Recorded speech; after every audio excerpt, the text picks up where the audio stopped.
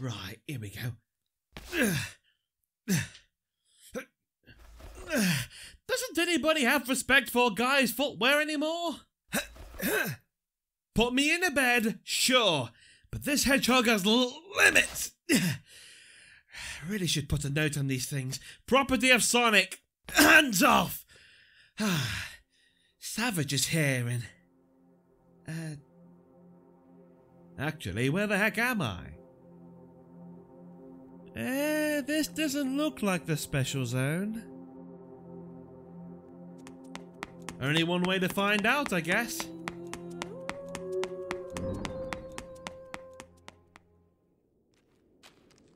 An underground base. Huh. Could it be one of Robotnik's? Nah, Egbeth wouldn't put me in an infirmary to recover. If this was his pad, I'd be in a cell. Or worse. And what happened to that freaky ghost meat dude?